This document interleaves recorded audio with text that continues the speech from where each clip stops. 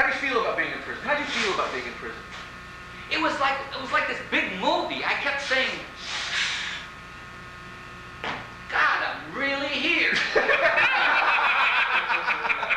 I finally fucked up. They were right. Yeah.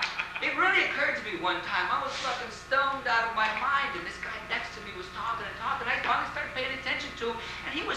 about these fucking people he killed. And I realized it wasn't the TV I could turn off. This motherfucker killed a lot of people. And he was dead next to me, and all of a sudden I wanted him to be my friend. Because I knew if he wasn't, you know, I might wake up with my head in somebody else's bed. That's true. They, they, everybody worries. The first thing a guy thinks about when they think about prison, they think about going to prison, they think about homosexual rape. Well, let me tell you the truth.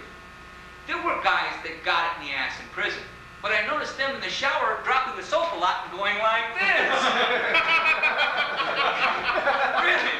Guys like me said, oh yeah, put a lock in the sock and said, come on. They went, where's that guy who drops the soap? they didn't want trouble. They just wanted a little body contact. They didn't care how it smelled.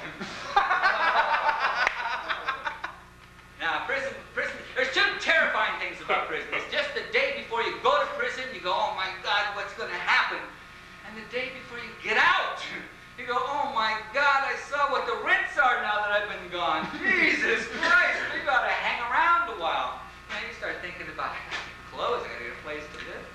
But you adjust when you get back out, and it's, it's kind of a, kind I don't know, I've never really been ashamed of being in prison because I, I, I went to prison for performing the public service.